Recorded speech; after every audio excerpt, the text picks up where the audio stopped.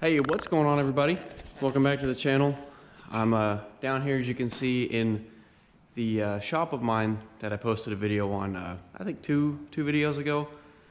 Um, and I'm, you can see behind me, I bought an air compressor. And uh, I'm down here tonight, it's uh, at 11.30 on Saturday night. Um, kids are asleep, so I figured I'd come down here and work uh, getting this thing set up. I got some wire to wire it into the breaker box and some uh, piping to plumb to a dryer system. And I don't have the dryer system yet, but I want to go ahead and get some uh, line ran. That way the air has time to uh, condense down and stuff. So I got a trunk full of stuff here. I'm gonna unload on the table and we'll show you what we got.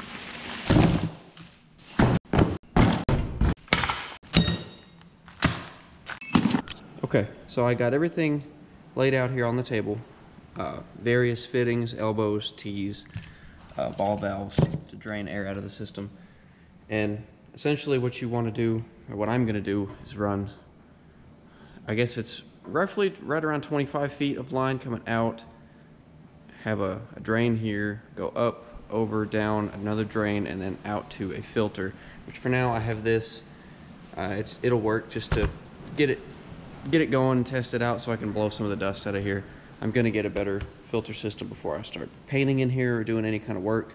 I'm just trying to get the compressor set up so I can do some things I need to do. I've been doing some cleaning and uh, stuff like that. So I just wanted to get this stuff down here tonight and get it done. But I have a, a diagram that I pretty much drew this out before I went and bought all this stuff. That way I knew exactly what I was gonna get, how much I needed. Pardon my crude drawing, um, I'm not an artist, but this is essentially how I'm going to run it for now, just to get it up and running. Uh, it's going to come out of the compressor with a valve here, tee off to a drain, go up six feet, over one foot, come down six feet to another tee with a drain at the bottom, and then uh, 24, no, 30 inches right here. So just a little over two feet here and uh, three feet here. So it gives me almost 25 feet, uh, give or take, with the various few little fittings here and here, which is, uh, they say 25 feet from the compressor to, at least 25 in between the compressor and a filter before you run your air hose out of here. So that's basically what I'm going to do, and there's people on here that have some pretty intricate copper line or galvanized. Um, I'm kind of doing this on a budget right now to get started. So I'm using uh, black pipe as long as you get rid of the moisture, rust shouldn't be an issue. Um, it's rated for a pretty high PSI. So it should be fine for what I'm gonna do, just painting, stuff like that. It's not gonna be too crazy. But first thing I'm gonna do is get this thing wired. So what it is, a Kobalt two stage, five horsepower, uh, 175 PSI air compressor two-stage pump, so it's really going to not starve for air whenever I'm painting or working with a sander or an air impact. Of course, I pretty much use all Milwaukee electric, so I won't ever use air impacts. Um, but yeah, I'm not going to show you how I'm going to wire this to the power box because I'm, I'm not an electrician and you shouldn't listen to me for how to wire stuff. You should always check the code for you where you live and get a professional electrician. Um, just little disclaimer there. I'm gonna get this wired in and get the power shut off to the box. That way uh, I'm not winding up in the hospital.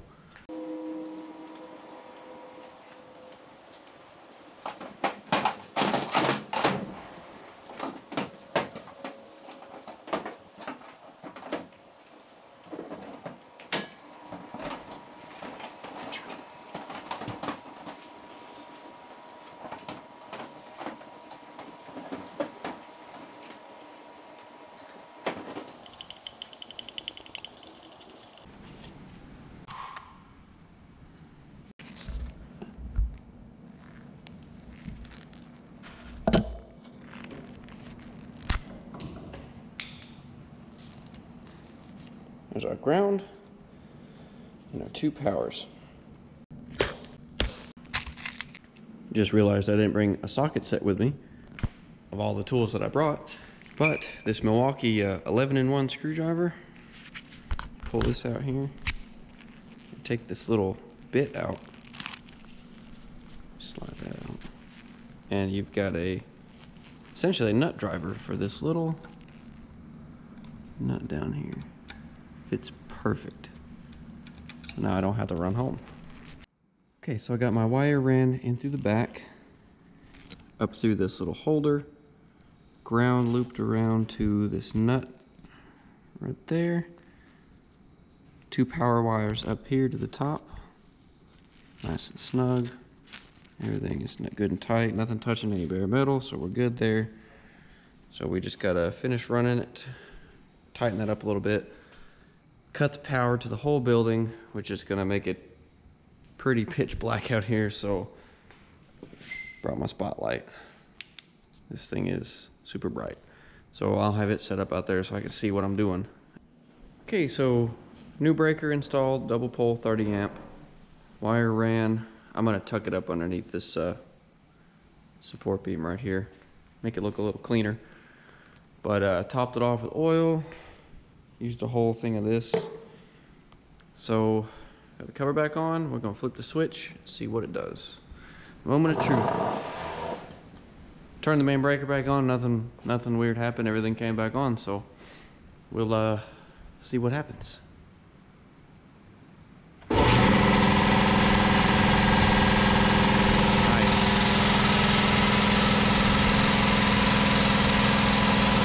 It works. Not too loud either.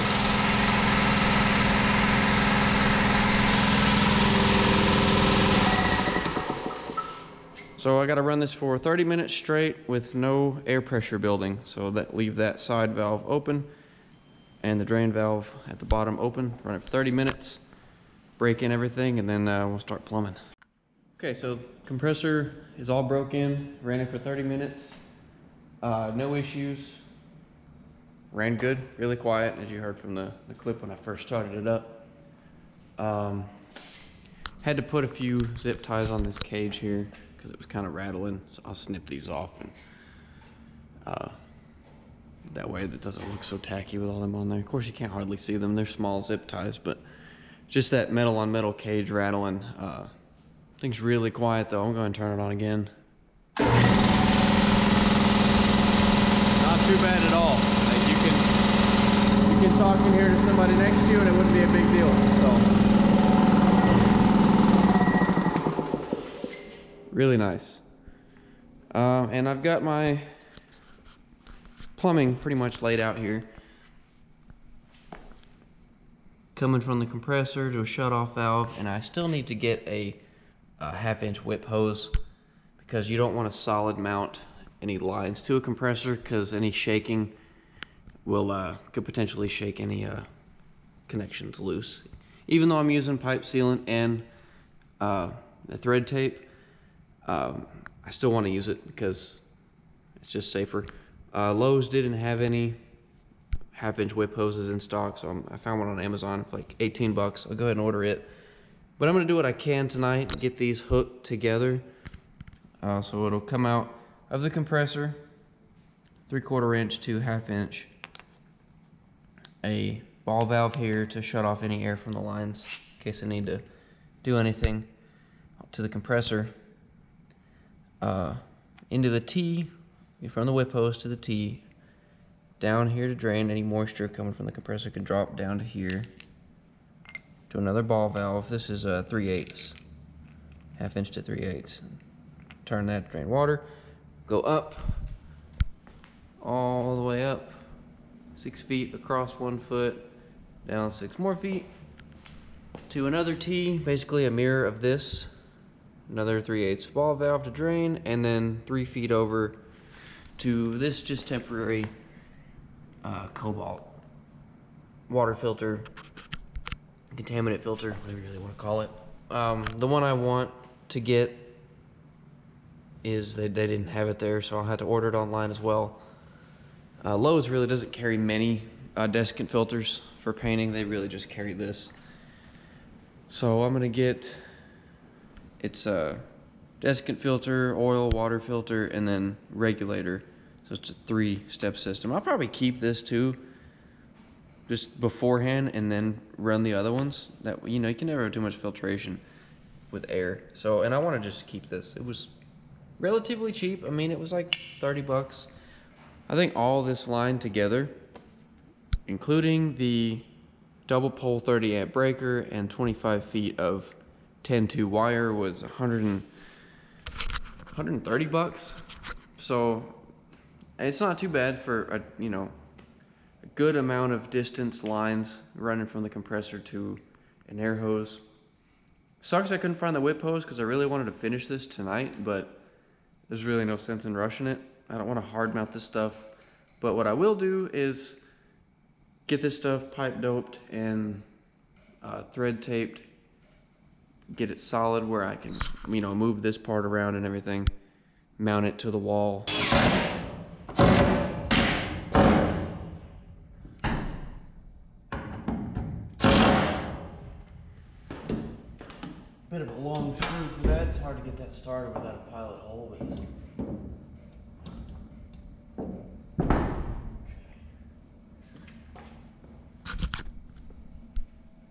There's that going up.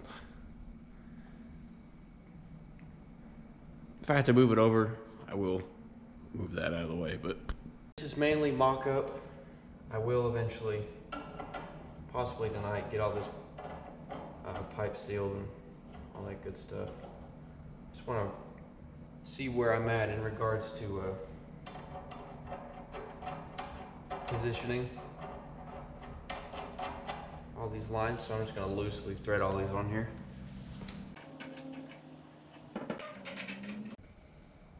Oh, I don't think that could have worked out any better. And I'll just get some supports right here on this to hold that. It is right on that beam. That's perfect. Something satisfying about that. I don't, I don't know what it is. Stuff just kind of, oh man, look at. Lined up perfectly. So I can secure it all nice and tight and then have a filter right here. And I'll just probably cut a little two by, screw it into this. That way I can mount it right here and have my airline coming out. Because what I'm wanting to do is have toolbox here, work area, you know, build a my booth here in this whole area. There's plenty of room for a car on either side to paint it. This is my CRV. But both sides, plenty of room around the back. I mean, all the room you would in the world you'd need up top. Room in the front. Of course, there's not room for a car and bumpers in here, but you know, that's not the end of the world. It's a DIY kind of place. For right now, I mean, heck, my booth walls are gonna be plastic. Okay, so we got our three quarter to one half inch adapter, Teflon taped. So we're gonna put this on it. Pipe thread sealant. Just a few little dabs around the threads and screw it in here. I mean, you don't need much of this stuff. Not much at all. Just a few little dabs on the threads. That way, when this gets sealed, tightened, no air leaks. I probably put way too much. That's a bit of a mess, but.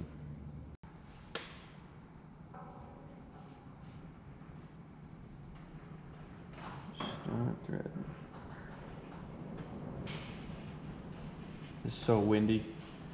This shop and as well as my house are right at the foot of a mountain. And uh, the wind blows, it, it blows. We're down here in a valley. I left my dang channel locks at home, so.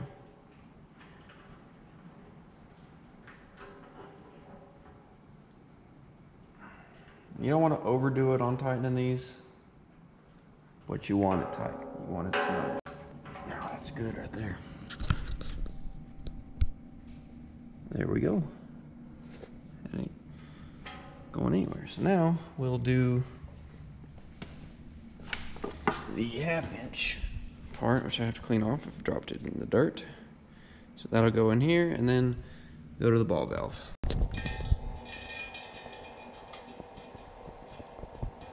Final part for this part here is the half inch ball valve.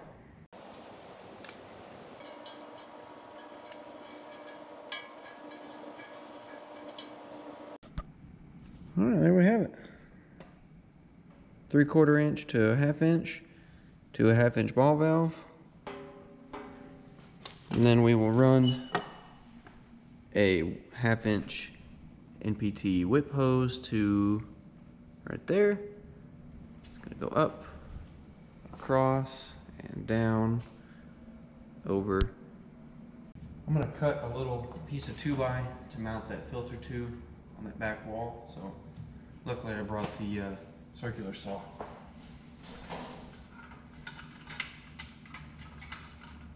One tool I got that probably isn't Milwaukee. Good old school Makita circular saw.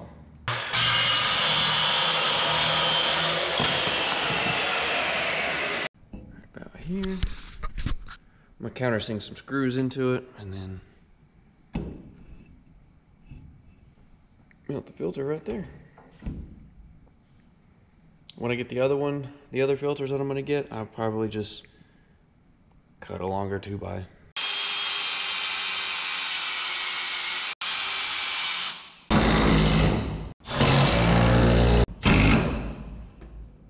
Just enough to hold it, that's all I need. That is pretty much where it's gonna sit, nice and level. Oh, that's nice and clean. That makes me happy. I love when stuff looks good and clean, especially piping. You want it to look nice. So we'll have a three feet whip hose coming out of here. That way any vibration is absorbed in that hose before it gets to here. T into here, got our drains. Go up. Again, I know I've done this a few times, but man, I'm just really happy with how clean that is. And when I get my other desiccant filters, I'll run it after this and just keep it tapering down. Get another 2 by, mount it to that, and uh, be ready to go. I, this is the only thing I uh, thread sealed here because I don't want to get myself in a bind with tightening this and not being able to get them tight to the right angle. So I just loose, loosely did this here. That way when I come back after I get my hose to final mount all this stuff, I can final mount everything here, thread seal it, uh, Teflon tape it, everything starting from there, working my way down to here. That way when I'm done here, it's good and tight and I can dismount this and push the whole thing out because it's not exactly bolted down. It's just hanging on those screws right there at the elbow. So I can take the whole thing and pull it out, get that threaded nice and tight, mount it back, and then won't have to touch it. I'll probably get some uh, little, you know, pieces to mount here, and uh, that way it's not vibrating or anything. But yeah, that's pretty much how the setup's gonna be. Compressor, about 25-ish feet of line. Might get a longer whip hose so it can kind of coil to add more length. Drain, drain, dryers, and then have my air running to where I'm gonna be painting over here. And air tools anywhere else. And I can always add more stuff you know, at that union. That's why I'm doing a whip hose, so I can tee off from there if I want to run anything else that I'm not too concerned about needing dry air, like painting. Um, I mean, all tools need dry air, so I could always add an extra, like a T out of here or something, you know, and, and you can do whatever, pretty much whatever you want with these lines. You can cut and rethread, so hopefully I won't have to do that, but just just rambling. I kind of, I tend to ramble a lot when I make videos. My mind moves so fast sometimes, but uh, that's pretty much gonna do it for this one, guys. Um, I hope you enjoyed it. I know it probably might not be the most entertaining video, but for those of you who are interested, you know, hopefully you enjoy it. So, um, like I said, when I get that other stuff in and the dryer, the desiccant filter and stuff like that, we'll uh, final mount install this stuff and test it out. You know, might paint something. Who knows? Um, appreciate y'all watching. It is uh, two in the morning. I'm gonna get out of here and get to bed. My Red Bull's wearing off. See y'all in the next one. Peace out.